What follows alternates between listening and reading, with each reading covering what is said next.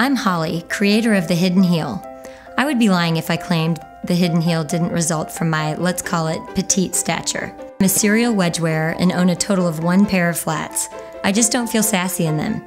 Jeans plus short legs plus flats just doesn't equal a good look for me.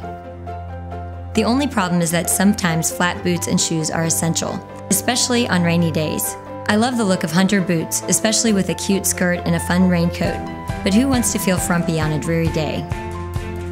Also, on the way to a workout, I love the look of yoga pants and Uggs on a cool morning, but I never like to feel flat footed and short. Hidden heel is the perfect solution. Slide one, two, or all three layers of the heel into your boot, and voila, you're one to two inches taller. The difference is amazing, and to be honest, it makes flat shoes more comfortable. As a matter of fact, as much as I want the hidden heel to give us shorties a height advantage, I've found people of all heights love it. The silicone design acts as a shock absorber, and plus, who doesn't prefer the look of their legs and buns when you're wearing a heel? The other unexpected lover of my heel is men, especially men with a tall significant other.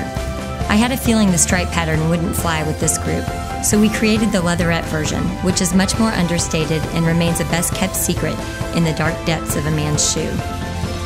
So if you want to feel taller when you're wearing riding boots, rain boots, sneakers, virtually any shoe, pop in a hidden heel and keep your heels, head, and standards high.